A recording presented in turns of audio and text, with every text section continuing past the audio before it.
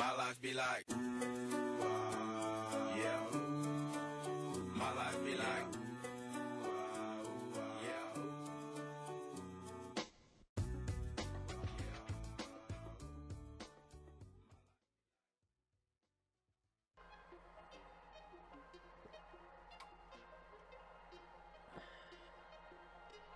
Hey, good morning, guys. Pops the Paladin here, and we are on Antorus, and this is going to be a heroic level difficulty. I'm only going to do heroic and mythic this time instead of normal heroic mythic because pretty much all the mechanics are the same. Uh, for normal to heroic, I'm just going to give you a little insight. Well, I'm also going to do my videos a little bit different. I'm going to show you all the things that I could have done better to hopefully improve you, and then I'm going to talk about the instance as it's going on. So things that I am wearing for this particular fight are Saruan's Resolve and Heathcliff's Immortality, and the reason why I'm wearing Heathcliff's is because when you're tanking the boss, you're standing still. When you're not tanking the boss, you're running away.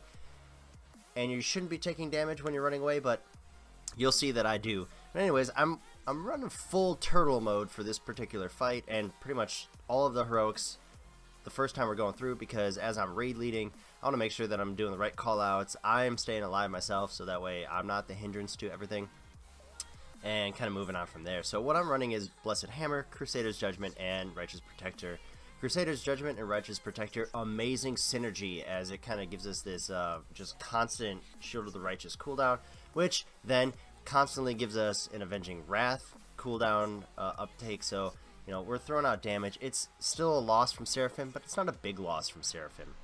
In this particular fight, you're going to see the damage intake that uh, we have, and that's about 70% physical damage, and almost all of it's coming from melee. So Heathcliff's mortality, once again, a nice big thing. You're going to notice that my total overall damage intake uh, for this particular fight, 468,000. Uh, it could have been better, but once again, I'm just trying to work th through things. This is a very easy fight in the beginning, so I'm not too worried about that.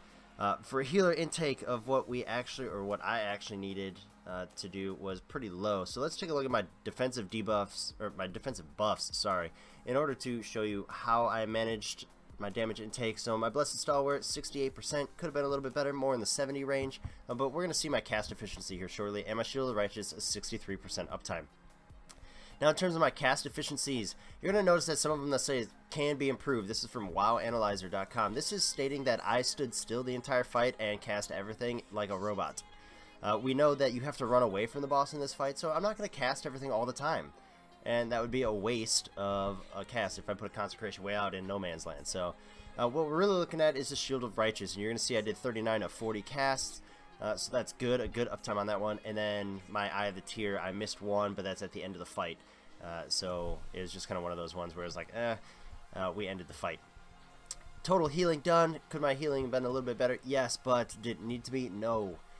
My particular healing needed for me in general, based off this, is you're to see here that my Holy Paladin is amazing at what he does, and so um, I really don't have to try very hard.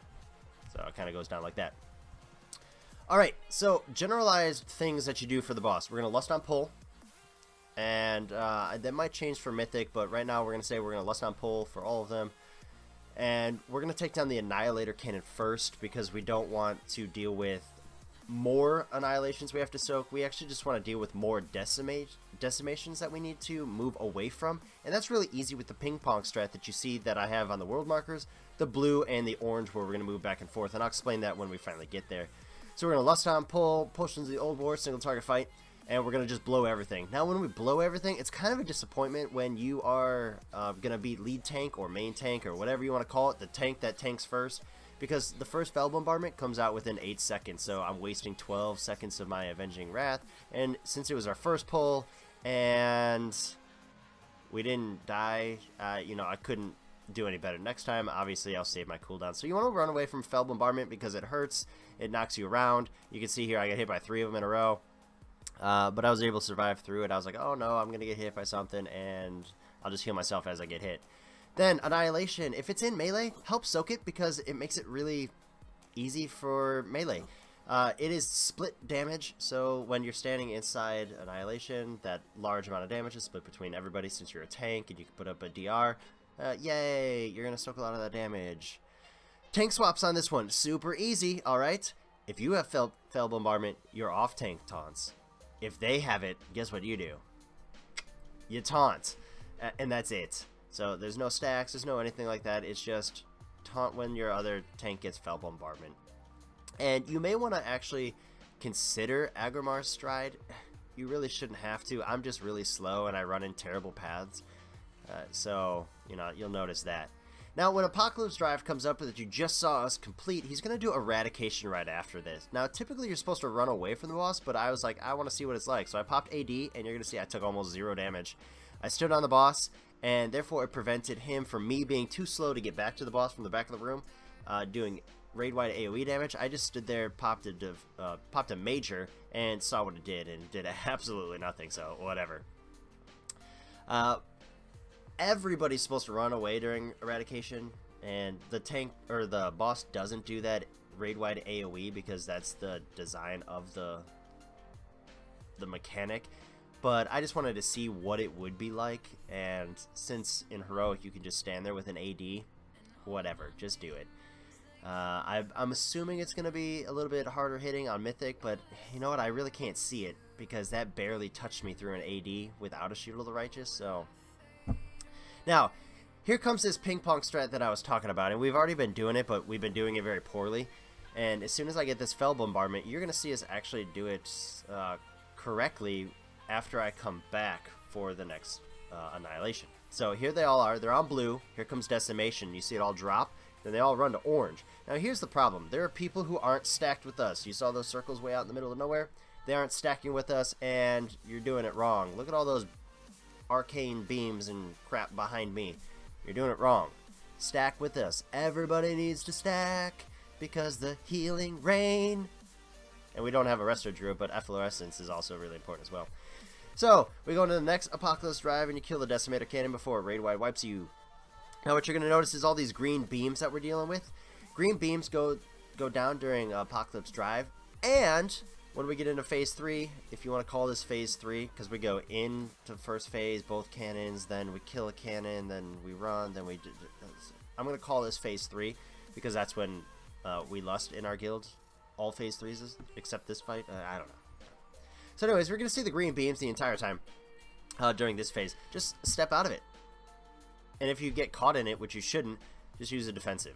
It it doesn't really hurt as a tank as everybody else kind of does, but then again, don't be bad, don't stand in bad, move, and do all the good stuff. Now, as we're in phase 3, the only thing you're moving out is this green line, so everybody, once again, should be stacked at the front of the boss. Range, melee, ranged, ranged, get in, and help the healers just AoE heal. Healing Rain is good, Healing Rain is wise.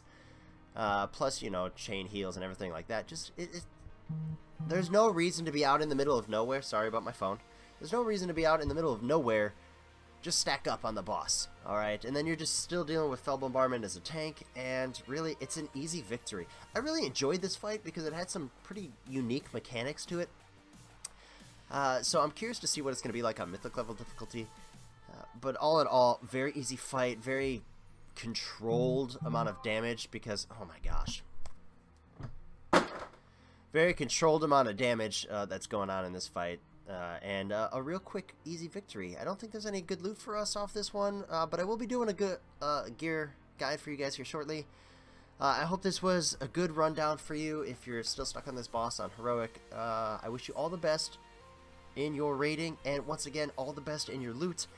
I'll catch you in the next video. Stay tuned. There's a lot coming very quickly.